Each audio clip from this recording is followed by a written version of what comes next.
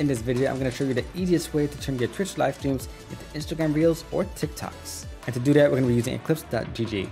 So in this video, I'm to be showing you how to set it up. I'm also to show you how to import your live streams from Twitch, Facebook, or YouTube. And hopefully by the end of this video, you'll see if this is right for you. Also, disclaimer, this video is sponsored by Eklipse.gg, but I'm still to give you a full review like I normally do. Okay, so to get started, first thing you're to do is set up your free account. And then you're to go ahead and connect your Facebook page, your YouTube channel, or your Twitch channel, or all three if you have them. And it will automatically pick up your live streams that you did. So I am not a live streamer, so I can't show you my past live streams, but I do have a gameplay video that I did recently of Pokemon Legends Arceus, and I'm gonna go ahead and use that right now. All I gotta do is get the URL from my YouTube video, go ahead and paste it over here, and then click on submit. Before I click on submit, it's worth noting that Eklipse.gg is free to try. When you sign up, you can try it out with three videos. So as you can see over here, I got three tries left. So let's go ahead and submit it.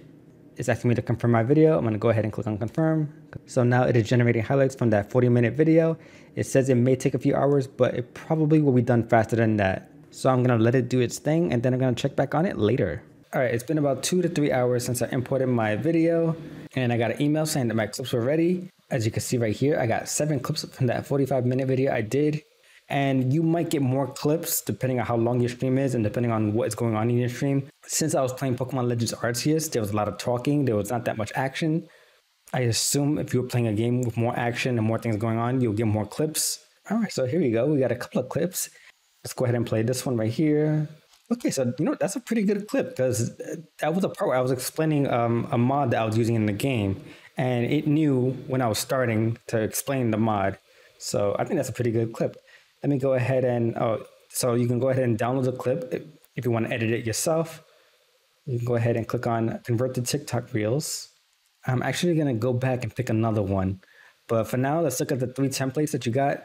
This is split, so your face will be on the bottom and the gameplay will be on the top. Full screen is just all the gameplay and no face cam, but my personal advice, always show your face in the videos. It makes it more personal and people want to see you and they want to see your reaction.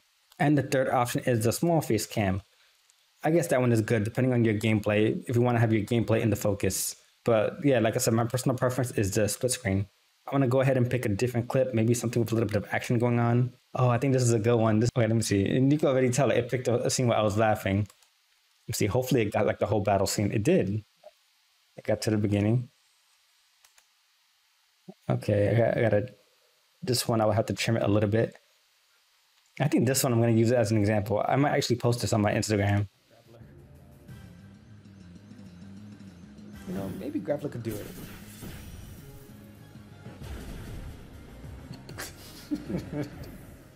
so that was a really good moment, and I'm glad that it picked that up. Also, keep in mind that this video I did was just a test.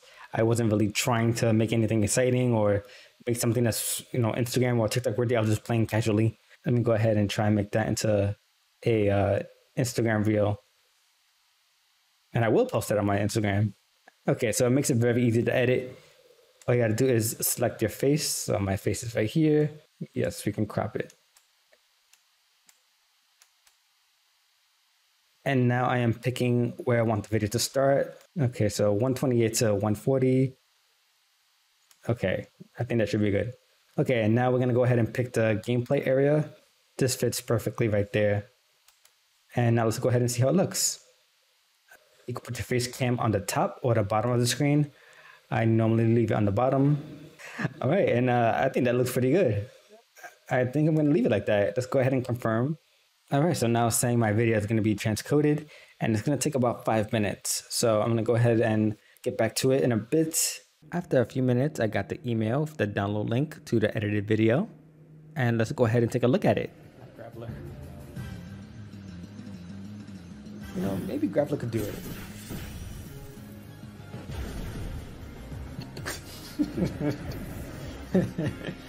no. The video came out pretty good. It is in 1080p I'm probably going to trim it a little bit on Instagram and add some text to it. But overall, I'm pretty happy with it. Now let's go back to the clips because I want to show off that Eklipse did a great job of finding out the good moments during my gameplay session.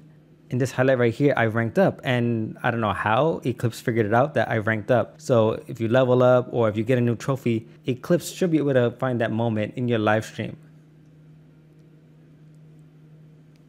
So you can see right here, and I did not pick these clips. I did not pick these moments. Eklipse figured it out by itself that I ranked up and it knew that was an important moment. And you can see on the right hand side, it says best for TikTok or on Twitter. So I guess in this clip, Eklipse figured out that I was leveling up my Pokemon. And highlight number seven. What happened over here? It figured out new Pokemon. So that is it for my review on Eklipse.gg. I am actually really impressed with how it was able to pick out the best moments from that gameplay video. As I said before, it is free to sign up and free to try, so I highly recommend using this for anyone that live streams. There's a link in the video description below, and if you do try it out, be sure to let me know in the comments below.